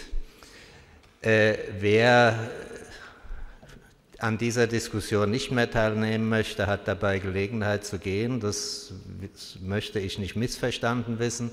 Wir freuen uns, wenn Sie alle bleiben und uns hier zudecken mit Fragen. Äh, wir machen jetzt zwei, drei Minuten Pause und dann werden wir weitermachen. Dankeschön. Ich möchte Herrn Pfeiffer eine erste Frage stellen, weil die mich vor ja, seit 15, 16 Jahren, Frau Dr. Ma hat es angedeutet, auch berührt, Verstehen durch Nachbauen. Wir haben etwa vor 15, 16 Jahren mit dem Biologen Kruse in Bielefeld angefangen, äh, Stabheuschrecken nachzubauen. Das war unsere sechsbeinige äh, Laufmaschine. Und ich hatte immer das, äh, den Eindruck, ähm, die Biologen wollten mit solchen technischen Maschinen Verhaltensweisen studieren, die man an lebendigen Systemen nur schwer studieren kann. Und äh, wenn man so eine Maschine baut, fühlt man sich so ein bisschen verlassen angesichts der Perfektion der Biologie. Und deshalb meine Frage, äh, wir haben ja gegenüber der Biologie sehr beschränkte technische Möglichkeiten. Wenn wir so etwas nachbauen, können die Biologen wirklich davon lernen?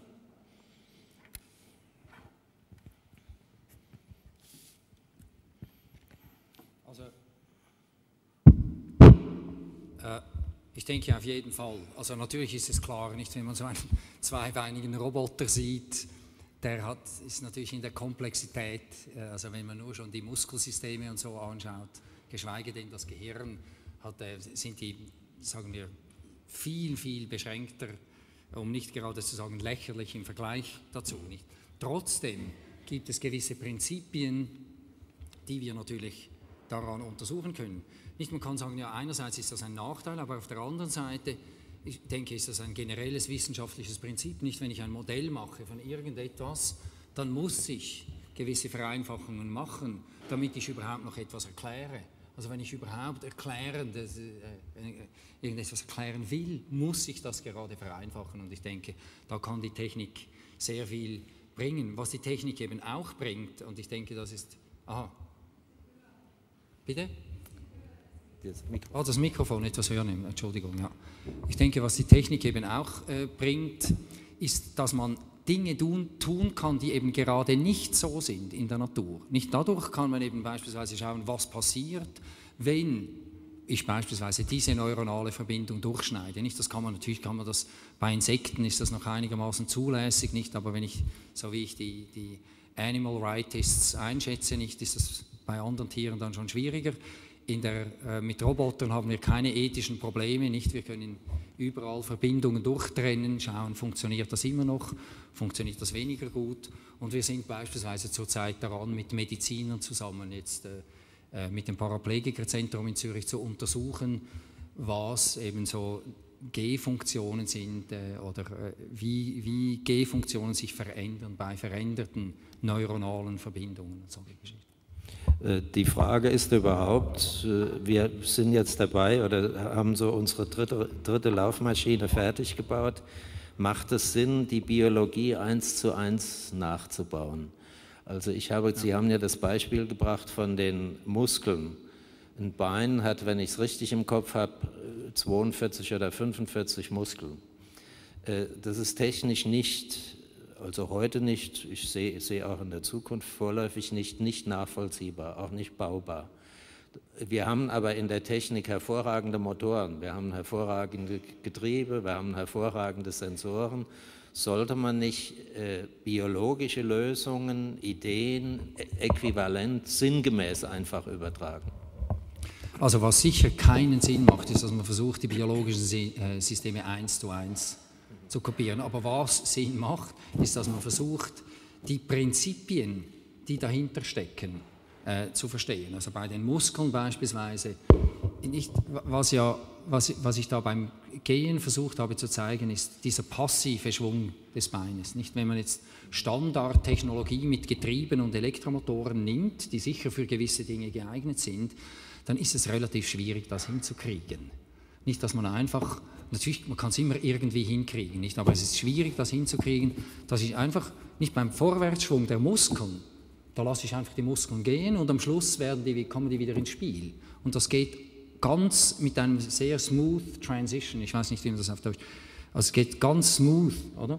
Und das hinzukriegen, ist natürlich schwierig. Hingegen, wenn man jetzt da diese Eigenschaft der Muskeln übertragen könnte oder technisch realisieren könnte, hätte man natürlich viel gewonnen. Aber ich meine, da, da, geht es um ein Prinzip, nicht Smooth Transition zwischen aktuiertem und passivem Schwung. Und dieses Prinzip müssen wir dann übertragen. Und dann haben, dann denke ich, ist es auch wichtig, in der Technik haben wir dann Möglichkeiten, die wir in der Natur nicht haben. Und es ist gar nicht immer gesagt, dass die Natur die besten Möglichkeiten gewählt hat. Oder wir, haben dort, wir können beispielsweise mit Metallen arbeiten. Nicht die Natur hat es irgendwie verpasst, mit Metallen zu arbeiten. Oder? Und die haben ja auch ganz schöne Eigenschaften. Ähm, bei den Zweibeinern tritt ja äh, das Problem auf, wir haben darüber gesprochen, wir, wir, haben versucht, weil die Japaner ja schon viel gemacht haben, haben, schnell zu laufen. Wir wollten zwei Meter pro Sekunde laufen, das sind sieben Kilometer in der Stunde. Wir haben jetzt so 0,7, 0,8 Meter erreicht. Und das Interessante dabei ist, und wir haben einen Roboter, der also ähnlich äh, wie dieses Asimo-System mit vielen Sensoren, vielen Motoren, äh, die Schnelligkeit ist nicht begrenzt durch die Mechanik, sondern durch die Rechner, Computertechnik und durch die Elektronik. Und ähm, Neurologe hier in München, Professor Brandt, mit dem wir äh, auch zusammenarbeiten, sagte, man muss die ganze Sensorik ausschalten. Wenn ein biologisches System schnell läuft, umso weniger Sensorik hat es. Dann ist natürlich die Frage vom Ingenieur, wie macht die Biologie das? Wie, wie kann man das übernehmen? Okay, ich es ist klar, dass ich diese, diese Frage hier nicht abschließend beantworten kann, aber mein, wenn ich jetzt einfach argumentiere mit dem Material, das ich im Vortrag gebracht habe, dann würde ich sagen, ja, das Problem mit Ihrem Roboter ist, dass er nicht ökologisch balanciert ist. Und zwar heißt das, dass er in, in dem Falle versucht man vermutlich zu viel über die Steuerung durch das Nervensystem, wenn man so will, zu machen, anstatt dass man sich überlegen würde, wie man jetzt beispielsweise die Dynamik des also die Materialien, dass man beispielsweise Federn nimmt oder eben künstliche Muskeln oder so, die, die ihre eigene intrinsische Dynamik haben, die dann nicht in jedem Zeitpunkt wirklich gesteuert werden muss, sondern gewissermaßen die eigenen Steuerfunktionen hat. Ich sage nicht, dass, dass, dass, das eine einfache Sache sei, aber ich denke, das wäre zumindest mal etwas, was man sich überlegen müsste. Ein zweiter Punkt, den man sich überlegen müsste, ob man die Steuerung einfach richtig macht. Nicht? Die Idee, und das habe ich jetzt gar nicht erwähnt, aber eine klassische Idee, und ich denke, die ist einfach mittlerweile veraltet, ist, dass wir immer haben Sensorstimulation, Verarbeitung und Aktuation.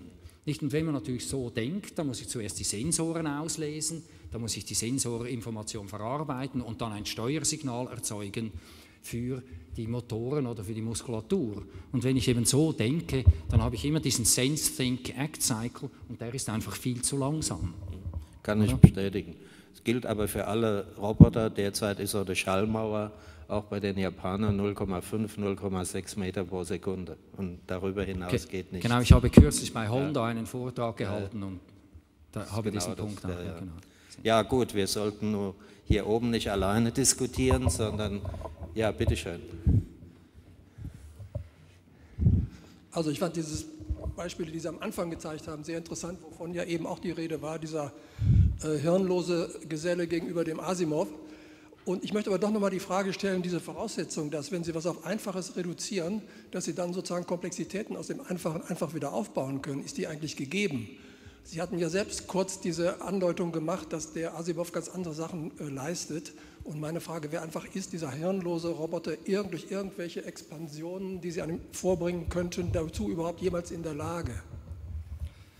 Okay, also das ist eine sehr äh, berechtigte Frage. Ähm, also die Idee, dahinter, die dahinter steckt, ist, äh, ist die, dass wenn man die passive Dynamik verstanden hat und so einen Roboter gebaut hat, dass es dann relativ einfach ist, etwas, also beispielsweise den dazu zu bringen, dass er auf, auf einer, äh, also dass er nicht mehr eine schiefe Ebene braucht, sondern dass er auf einer horizontalen Ebene gehen kann, indem man einfach ganz wenig Aktuation dazu tut. Und also Ko Hosoda von der Osaka University hat das gemacht und das funktioniert. Also das kann man so, man kann effektiv die ökologische Nische jetzt dieses Passive Dynamic Walkers relativ einfach ausweiten, indem man zusätzliche Funktionen äh, dazu tut. Trotzdem stellt sich die Frage, und, und da könnte man sich denken, das kann man jetzt immer so weitermachen.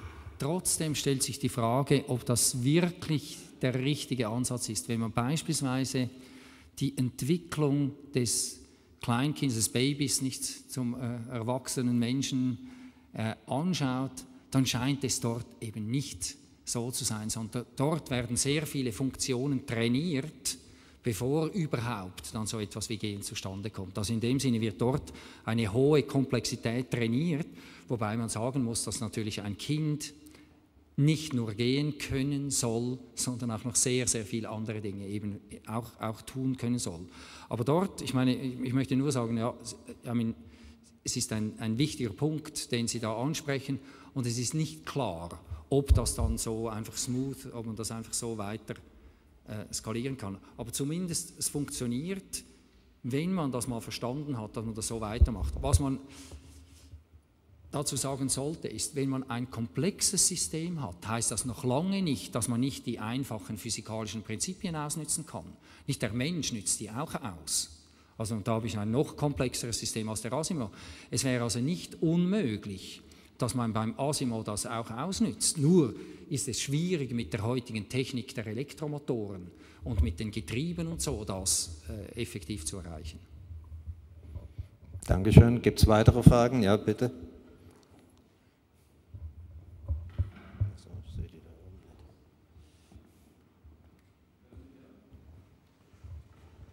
Geht nicht, oder? Oh, jetzt geht's, okay. Ja, äh, ich war an der Uni Hamburg und da meine Studenten und ich haben auch einen Vierbeiner gebaut äh, vor ungefähr elf Jahren. Und der Grund war, dass ich mit den Rodney Brooks einen riesen Streit hatte bei einer Multiagentenkonferenz. Und äh, das, der Streit würde jetzt genauso passen, nämlich dass Brooks ist ja einer der Erfinder von der ganzen Embodiment-Idee weil er hatte jahrelang in Stanford gearbeitet mit den Klassiken-Roboter. Die äh, haben kalkuliert, kalkuliert, um was zu sehen und so weiter. Und er war, er dachte, dieser Weg geht nicht mehr. Und so hat er dann diesen äh, anderen Weg erfunden. Und, aber das Problem war mit seinem Kon Konzept, ist, dass diese Architektur, diese Subsumption Architecture, vielleicht benutzen Sie eine andere jetzt, aber dass diese Architektur, also diese Steuermechanismen, nicht unbedingt gehen in die höhere Ebene des Planens. Also genau die Punkte, wo Brooks vorher äh, versagt hatte, weil es zu langsam war, weil er diese klassische Stanford-Planungsmechanismen benutzt hatte, äh, die ist aber nicht möglich, glaube ich, mit diesen einfachen Vorhaben. Und ich hatte dann ein Papier geschrieben, das heißt What Ants Cannot Do, und er hat ein Papier geschrieben daraufhin, elephants can't play chess. Das Argument ging, ich habe gesagt, dass Ameisen können nie komplexere Sachen erreichen. Er hat gesagt, wir brauchen das nicht. Elefanten brauchen nicht Schach spielen. Aber der Punkt ist, das geht ja heute um Intelligenz. Und da muss man sich dann nachdenken, inwieweit, ähnlich wie hier mein Freund dasselbe gesagt hat, dass äh, diese Ebenen nicht unbedingt sich generalisieren lassen und dass die Komplexität durch interaktive Agenten, wenigstens wenn sie einfach sind, nicht unbedingt äh, vollenden lassen kann. So.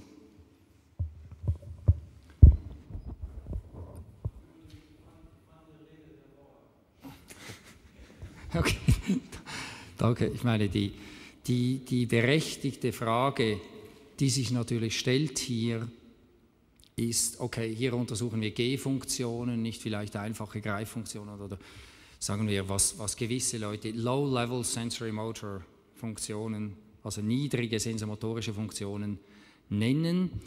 Äh, nicht die, die Frage, die sich hier stellt, also ich denke, die, die, die Philosophie, die dahinter steckt, ist die folgende. Irgendwie eine Entwicklungsphilosophie. Nicht? Es scheint ja so zu sein, dass sich in der ontogenetischen Entwicklung beim Menschen, was man als höhere kognitive Funktionen bezeichnet, auch aus der Sensomotorik und aus der Interaktion mit der Umwelt äh, entwickelt. Und nicht die Frage, die sich dann stellt, ja, wann, wann kommt so etwas wie Kognition äh, überhaupt rein, nicht also höhere Denkfunktionen oder so. Und die Frage ist immer, ja, when does it kick in? When does cognition kick in? Gibt es da irgendwo einen qualitativen Sprung? Und ich denke, wenn ich äh, jetzt so anschaue, was, was in der entwicklungspsychologischen Literatur auch gesagt wird, Entwicklungsneurobiologie, dann ist das eine graduelle Entwicklung. Da ist es nicht irgendwie so, dass eine, an einer gewissen Stelle plötzlich irgendetwas äh, hineinkickt, das nicht vorher angelegt wäre.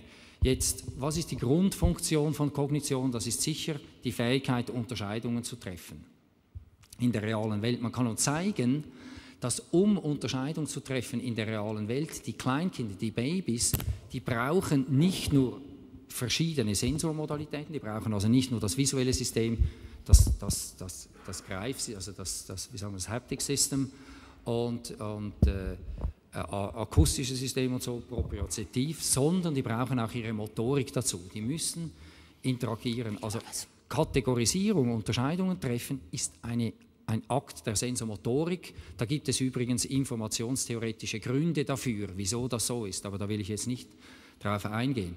Jetzt, also Kategorisierung ist eine sensomotorische Angelegenheit. Wenn man jetzt weitergeht, dann ist es einfach so, dass mit der Zeit es nicht mehr notwendig ist, dass ich alles ausagiere.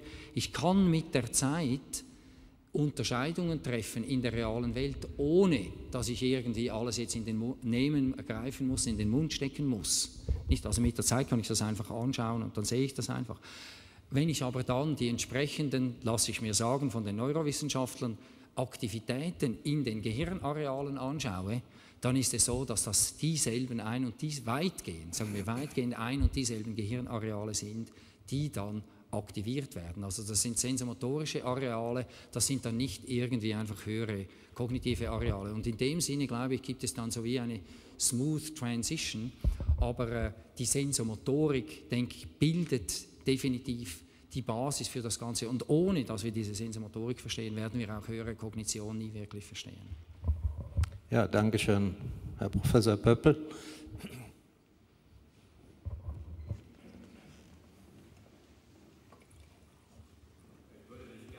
Auf, äh, ich würde dich gerne locken auf eine, die zentrale Thematik auch der ganzen Vorlesungsreihe der Visualisierung des Iconic Turn und äh, ein bisschen diesen ungeheuren, wenn nicht ungeheuerlichen Anspruch äh, in Frage stellen, nämlich, dass die Ästhetik, das Sehen einer glatten Bewegung auch gleichzeitig das beste Engineering sei. Man, hier wird ja der Anspruch erhoben, dass sozusagen ja, die bestmögliche Mathematik eigentlich, die, die beste Einpassung eines Organismus, der evoluiert, äh, über das Auge festgestellt werden kann. Das heißt, das Kriterium liegt tatsächlich hier in der visuellen Wahrnehmung. Und Anspruch ist, finde ich ungeheuer, nicht ungeheuerlich, dass das tatsächlich auch dann die beste Lösung sei.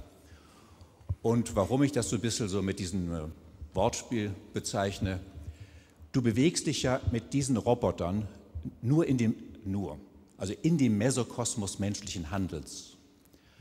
Gilt denn dieses Prinzip, nehmen wir mal das Pygmalion-Prinzip, ja, ich kann mich sozusagen hineinempfinden, hineinfühlen in die Bewegungsabläufe mich identifizieren in diesem Mesokosmos der Bewegung deiner Roboter.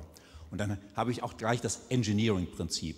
Gilt das ästhetische Prinzip eigentlich auch in der Nanowelt oder bei großtechnischen Anlagen, dass also die, die beste Leistung eines Systems, das beste Engineering über ästhetische Prinzipien, die visuell verfügbar gemacht werden, gegeben ist?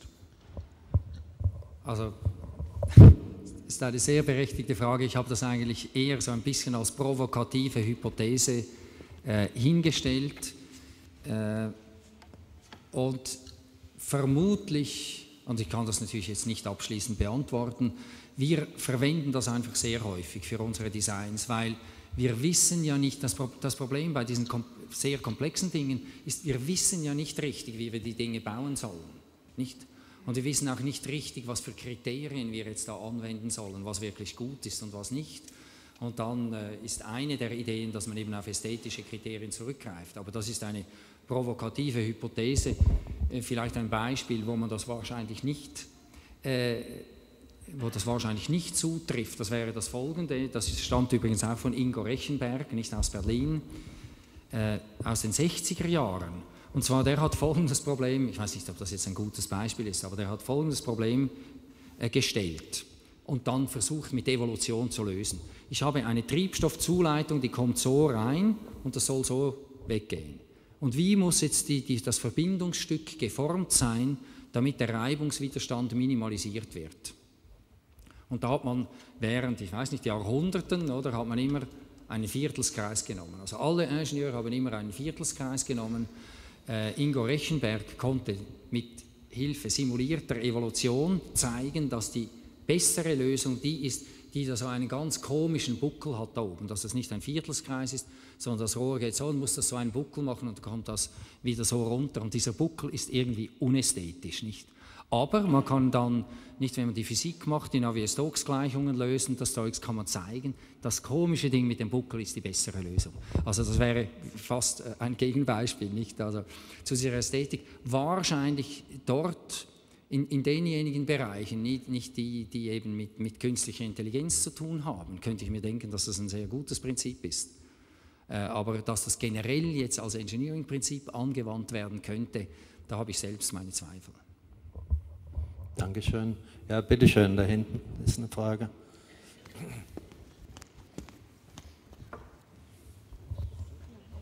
Ich möchte noch ein anderes Beispiel bringen, dass das im deutlich, und zwar aus der Geschichte von Heinrich von Kleist gibt es einen Text über das Marionettentheater. Da wird geschildert, wie in einer Kleinstadt ein Marionettentheater. Ja, jetzt, und äh, gleichzeitig existiert in dieser Stadt ein berühmter Tänzer. Nun geht ein Bürger dieser Stadt an dem Theater vorbei und sieht dort diesen berühmten Tänzer, wie er die Marionetten studiert. Und er sagt, Erlauben Sie mal, warum sitzen Sie hier und schauen sich diese primitive Form der Bewegung an? Und da sagt der Tänzer, ich studiere die Bewegung, weil man von ihr viel lernen kann. Denn glauben Sie nicht, dass der Marionettenspieler jede einzelne, jedes einzelne Gliedmaß der Puppe zieht, sondern er zieht in einem Schwerpunkt der Bewegung und dann bewegen sich alle Gliedmaßen in der gewünschten Form. Und indem ich das beobachte, lerne ich, wo der Schwerpunkt einer komplexen Bewegung ist. Und das spricht eigentlich genau das an, was Sie gerade, so wie ich es verstanden habe, dargestellt haben. Also das wäre jetzt, dass, dass man versucht, nicht, wenn man jetzt einfach natürliche Systeme immer anschaut, da ertrinkt oder da ersäuft eigentlich, ersaufen die Prinzipien, ertrinken die Prinzipien in dieser Komplexität. Und da hat man natürlich ein, ein System, wo eben diese Komplexität weg abstrahiert ist so dass man die Prinzipien erkennt. Also ich finde das ein sehr schönes Beispiel. Ja, besten Dank. Dankeschön. Gibt es weitere Fragen? Ja, bitte.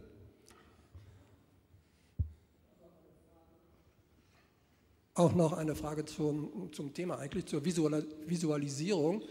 Äh, diese Beispiele von Simulation, die Sie am Schluss gezeigt haben, die sind ja wie immer sehr, sehr, sehr faszinierend und verblüffend. Sie äh, schalten aber auch ein kleines bisschen manchmal das Gehirn aus. Ähm, denn ist es denn eigentlich so, dass Sie hier was machen? Wie, würde, wie verhält sich das zur biologischen Forschung zum Beispiel? Äh, es erweckt ja ein bisschen den Eindruck, als ob Dinge, die in der Biologie, also in der Zellbiologie, auch in der äh, Entwicklung, in der Untersuchung der Entwicklung von, Neu von Neuronen und so weiter noch gar nicht zu Ende erforscht sind, ganz, durchschaut sind, als ob, die, als ob sie die sozusagen in einem Eilverfahren durch die Evolution, durch diese Optimierung, mehrfache Generationsdurchläufe einfach rauskriegen können, sodass die Biologen eigentlich nichts anderes bräuchten, als bei ihnen anzuklopfen und zu sagen, also sie haben das mit der Methode ja schon viel schneller rausgekriegt, als wir das können. Also was ist der Status überhaupt, der theoretische Status von diesen Simulationen? Okay, also nicht die, die, die Biologie, also wenn man die biologische Literatur anschaut zu diesen Dingen, beispielsweise Genregulatornetzen, also da haben, haben wir einfach als Ingenieure keine Chancen, überhaupt irgendwie die ersten fünf Zeilen eines solchen Artikels zu verstehen. Also da gibt es eine gigantische Literatur, die ist wahnsinnig komplex und da haben wir keine Chancen, das zu verstehen. Wir arbeiten zusammen mit Entwicklungsbiologen und wir versuchen jetzt, Abstraktionsebenen, also wirklich, ich meine, das sind enorme Abstraktionen, die wir machen. Und unser Ziel ist, dass wir so weit kommen, dass wir immer Organismen haben am Schluss, die etwas in der realen Welt tun. Und diese Abstraktionen der Genregulatornetze, die sind, denke ich, interessant, weil sie zeigen verschiedene Dinge äh, auf. Also um, nur um ein Beispiel zu geben. Es gibt dieses äh, Konzept der, der Hox-Genes, also der Homeobox-Genes. Also das sind Gene, die dazu dienen, die andere Gene zeitlich zu koordinieren, also wann die zum Zug kommen. Also jetzt äh, grob gesagt. Und wir konnten zeigen mit unseren Simulationen, dass die Evolution effektiv entdeckt, dass es eine gute Idee ist, diese Genregulatornetze so zu organisieren, dass eben gewisse Gene sich darauf spezialisieren, die, die haben keine Strukturfunktion, sondern die haben nur die Funktion, das Timing der, des Ausdrucks der anderen Gene zu koordinieren. Das kommt bei der simulierten Evolution als emergente Eigenschaft raus. Also es scheint so zu sein, dass wie, wie, wie wenn die nicht, man könnte ja sagen, dass die Natur die, die Hox-Genes erfunden hat, um Komplexität zu meistern, wenn man so will. Nicht? Und dieses Prinzip der Hox-Genes, das kommt bei diesen Simulationen ebenfalls raus. Also können wir sagen, na, vielleicht gibt es doch gewisse Dinge, nicht die rauskommen bei den Simulationen, äh, die äh, Dingen in der Natur entsprechen, sodass wir eine interessante Abstraktionsebene gefunden äh, äh, gefunden haben. Aber äh, es ist natürlich ganz klar, dass nicht äh, die, die, die, natürliche Evolution viel andere Dinge hat. Die hat beispielsweise die reale Welt. Nicht und in unseren Simulationen haben wir nicht die reale Welt, da haben wir immer nur die simulierte Welt. Und wie wir wissen, verwendet die Evolution einfach immer alles, was rumliegt in der realen Welt. Und hier kann die Evolution nur das verwenden, was wir einprogrammiert haben. Aber ich denke, ja, und vielleicht, ich sollte so, schon noch sagen, also wenn wir die Entwicklungsbiologen nicht, die kommen alle so ein, zwei Monate, kommen die bei uns vorbei und schauen uns die schauen unsere Simulationen an. Und die sind also echt, teilweise sind die echt beeindruckt von den Dingen, also die ich Ihnen zum Teil jetzt hier gezeigt habe, was da effektiv bei der simulierten Evolution herauskommen kann. Nicht, dass ich denke, das ist schon einigermaßen überraschend. Und unser Ziel nicht als Forscher in der, mein Ziel, eines meiner Ziele als Forscher in der künstlichen Intelligenz wäre natürlich ein Traum, vollständig automatisierte Designmethodik zu haben. Danke. Es gibt noch zwei Fragen und ich denke, damit sollten wir dann auch Schluss machen. Bitte schön, Sie hatten noch.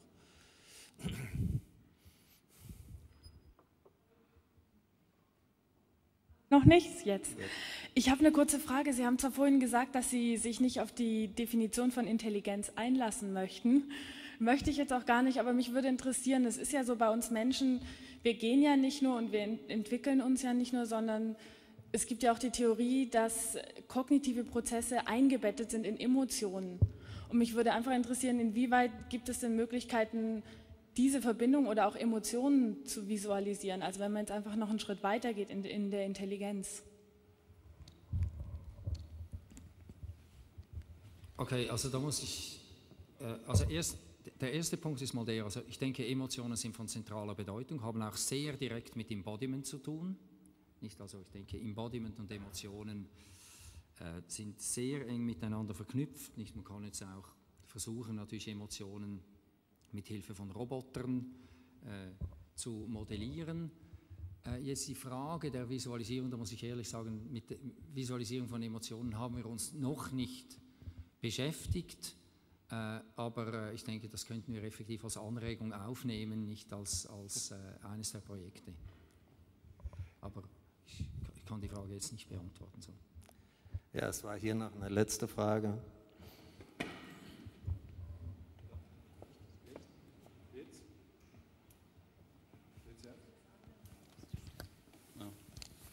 Ja, äh, ich fand die Bemerkung über Evolution sehr interessant und was Sie machen, ist auch sehr gut. Äh, wir machen das auch eigentlich, viele von den Sachen.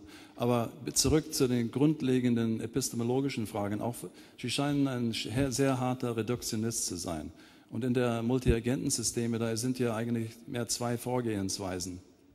Einerseits die Brooksien, wie Sie auch, Idee, dass man sehr einfach von unten anfängt und dann irgendwann erreicht man die Komplexität des, uh, you know, der Intelligenz des Menschen.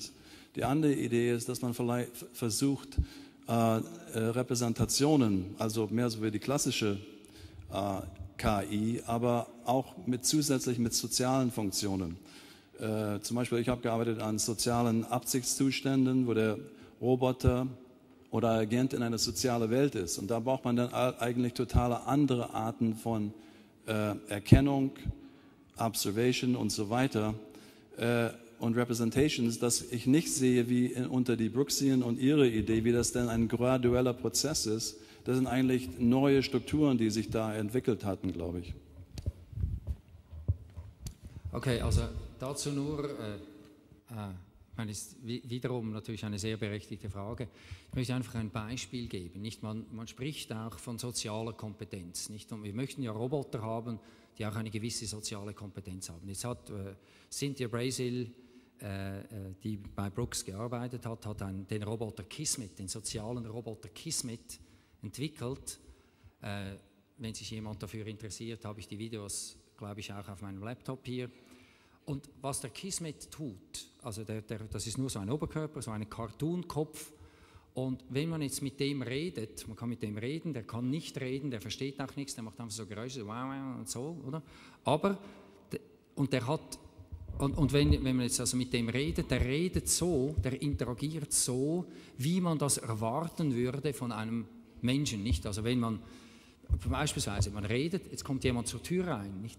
Dann dreht er den Kopf schnell zur Tür, nicht folgt äh, dem, der Person, die da reinkommt, kurz und dreht dann den Kopf wieder zurück und, und nimmt die Konversation in Anführungsstrichen nicht wieder auf. Jetzt der ist nur mit Low-Level Sensory Motor Loops, also äh, äh, niedrigen sensormotorischen Schleifen programmiert. Also eine sensormotorische Schleife ist zu Geräuschen hindrehen, den Kopf, langsamen Bewegungen folgen, eine Schleife ist zu schnellen Bewegungen hindrehen, eine weitere Schleife ist, äh, wenn man, also einfach das, die, die fokussieren, also wenn man so macht, nicht dann wird er da hinschauen, wenn man ihm zu nahe kommt, dann geht er so ein bisschen zurück.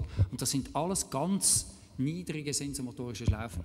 Das Verhalten, das man beobachtet, was dieser Roboter in der Interaktion mit der Umwelt zeigt, ist äh, erstaunlich, erstaunlich nahe dem, was man von Menschen mit hoher sozialer Kompetenz erwarten würde. Nicht, also nur als, nur als Beispiel, nicht? Also man muss dann auch aufpassen, nicht vielleicht, vielleicht ist es ähm, beim Menschen viel, viel eher so, als wir das gerne haben möchten. Nicht? Ja, danke schön. Ich darf mich nochmals für Ihren eindrucksvollen Vortrag bedanken.